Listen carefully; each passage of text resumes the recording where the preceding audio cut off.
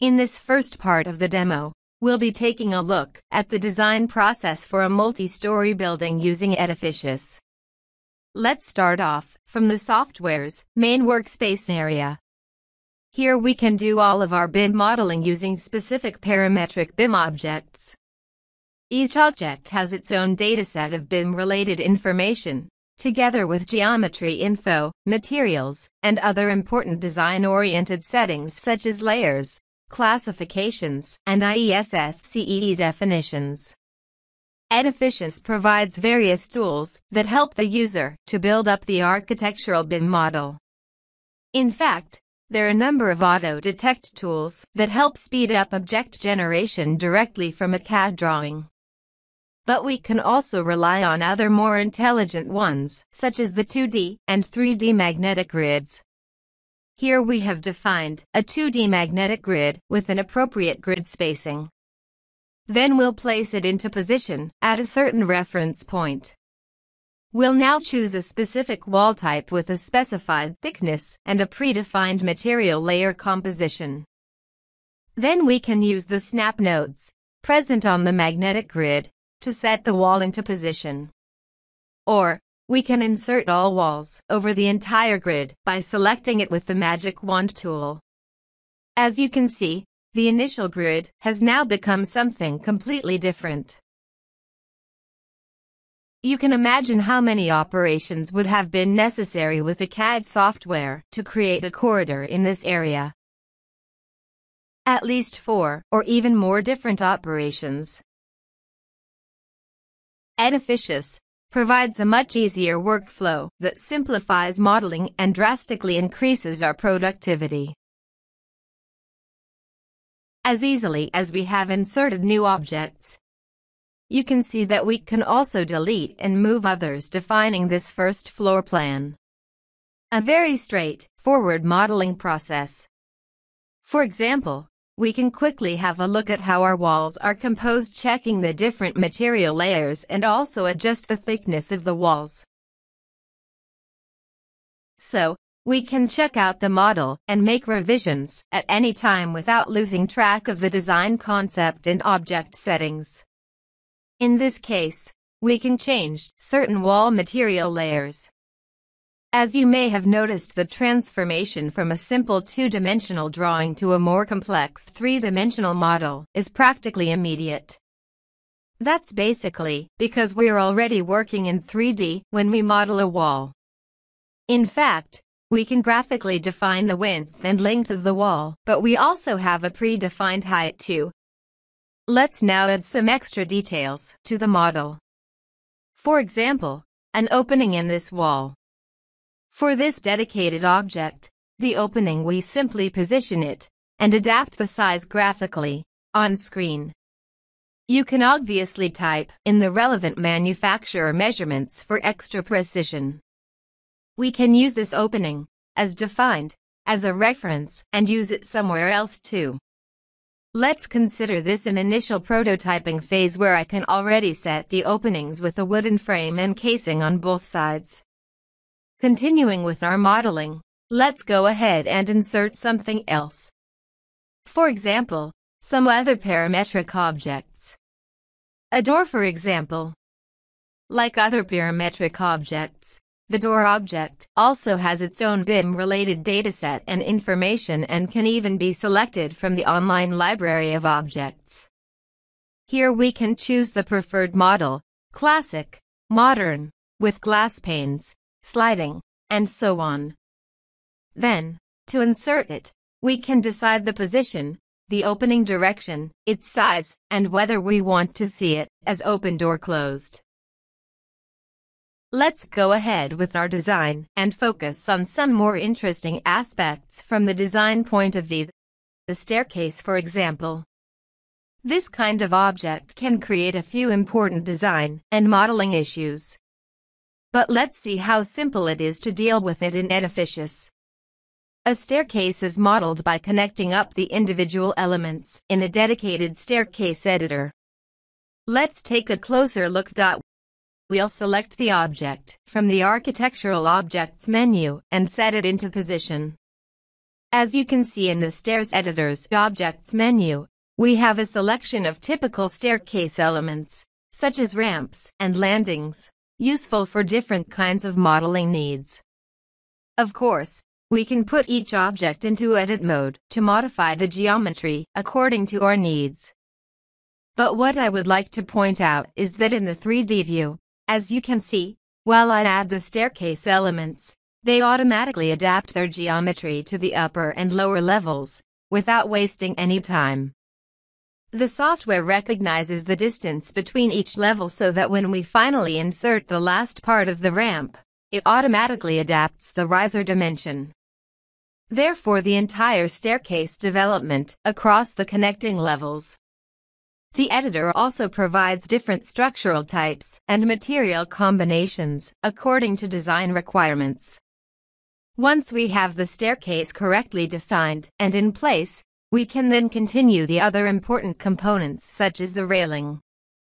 This can be inserted using another specific parametric object and is inserted in 3D directly on the staircase model. It takes advantage of its snap nodes for extra precision. In comparison with old CAD software, this would have taken an hour or maybe more to correctly model, with all of its details and different model views. As you can see, here in Edificius, it has taken us less than two minutes. As I was saying, you can edit any part of the staircase to achieve whatever geometry we prefer. Let's move it here to show you how to modify any part of the staircase in detail. For example, if I need to modify this landing, or maybe enlarge the ramp and change the shape, or convert this step into a curved step.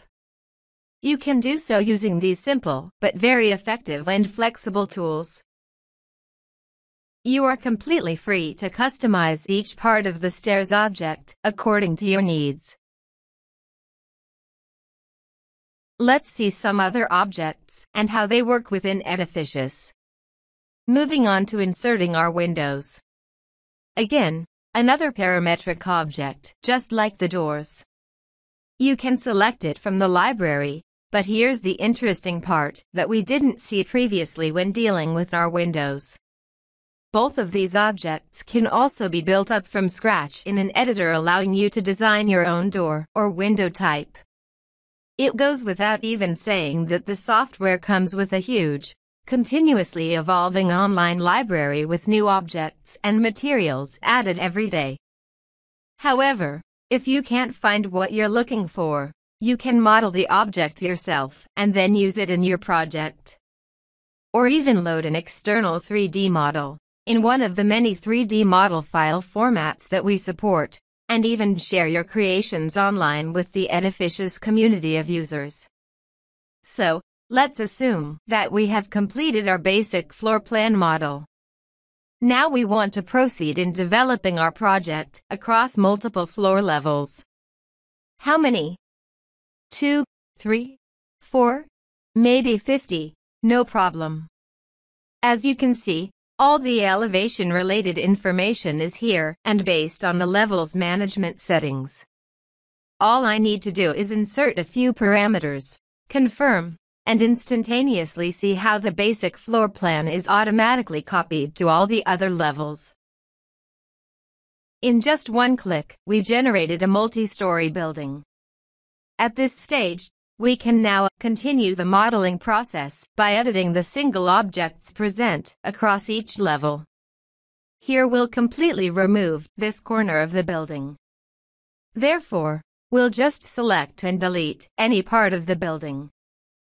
Here on the last floor, we'll delete a piece of the roof and create a terrace.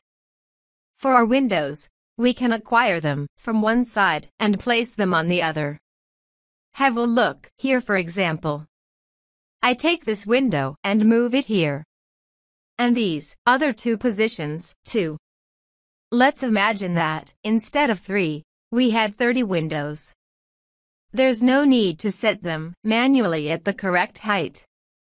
We'll simply choose an alignment axis and get them all aligned at the right height with a simple click. This is the kind of productivity that the software allows us to achieve.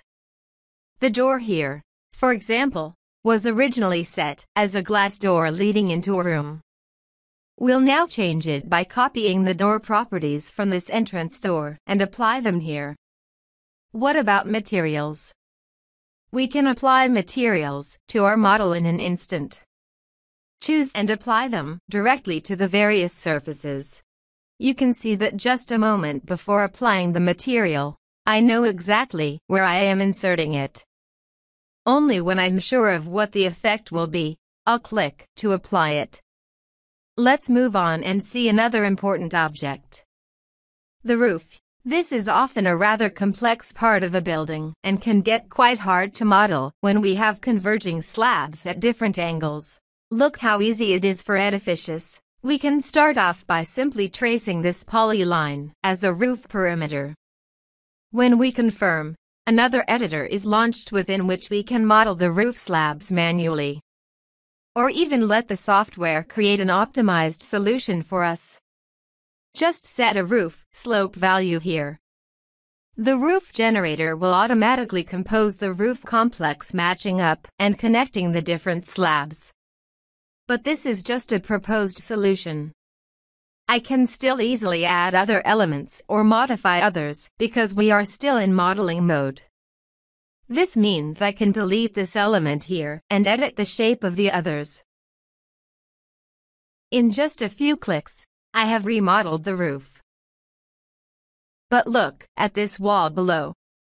It has readapted itself to the new condition automatically. Let's go back to the first design solution and delete these roof pitches. The wall has adapted back to the previous shape and we now want to transform these walls into parapets for the terrace. Let's see what else we can do. Suppose we have inserted all our parametric objects, and as you can see, we have reached a considerable level of detail in our project. But we are still in the position to modify whatever we feel necessary, adding objects and editing others. But this goes even further. Have a look at what we are doing here. I can select a part of the building and use it as a reference for integration with SketchUp or even Blender to add external 3D model assets directly to the building. I'll quickly model a few new elements such as this shelter. We'll make a hole in it and add this text on the wall. Even if you need to add specific architectural components, you can load them into SketchUp or Blender and then integrate them back into our Edificius project. Let's now move on to preparing our working drawings. These are also long and tedious tasks that may take hours, especially when you need to update drawings or parts of them. With a click, I'd already have the floor plan. The software automatically generates this detailed floor plan view, but also enables further graphical features to customize styles and appearances. Among various predefined styles, I can use this black and white look, or an extremely minimal, or very detailed styles. Or even build up and compose my own custom style too. What about dimensions? We all know how important they are in our working drawings. Just a click and they are applied throughout the entire room. And we know how long it takes to correctly measure everything up for all of our drawings. With a simple click, we can apply all dimensions and wherever we need them. Of course, I can still continue to add more information to the floor plan with other 2D graphical objects, tags, labels or other illustrations such as the drawing scale reference. The material layer composition for this wall. Or view the summary box with all the material layer compositions used in my project. All the tools for finishing off and completing these automated floor plans are at your fingertips. They also include illustration effects that can be activated and modified according to our needs. Different color effects, combined with shadows, line thicknesses, and fill patterns.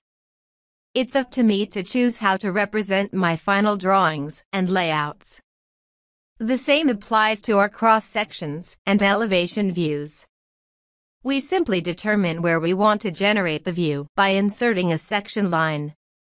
The view is generated automatically and added to the relating subnode under the Drawing Models section. Again, we can select our preferred visualization style with various effects regarding shadows, vegetation details, and so on. But that's not all. No one wants to worry about the final drawings. It takes too much time to prepare every single drawing and then realize that you have to update them with the latest changes. With this new workflow, you can make your changes directly from the drawing model by putting it into edit mode, even a few minutes before printing. With Edificius, with edit mode enabled, I can make the changes. Let's say the window size needs to change. We can make that change and notice how all the drawings that show that window are cross-updated instantly. Even the 3D model is updated. And this applies even if we need to make major changes throughout the design and validation process. You will surely agree that producing easy-to-read construction documents and illustrations is fundamental to fill in the communication gap. That's why even cutaway views are also provided among the various Edificius model representations. Just a few settings and you can dynamically cut through the building in an interesting 3D perspective view in which you can decide to apply a cutting plane across an entire level or choose to cut everything except the furniture. I choose the style and the software responds straight away. Communication also means generating photorealistic images with high resolution and super fast renders. A kind of creative output that I can share through social media, with collaborators, with my client, and whoever is involved in the project in some way. Now look at this vertical cross section. I can see all the rooms at their use types furniture arrangements, etc. And finish off with a precise shadows analysis. If we need to access the most advanced BIM collaboration methodologies,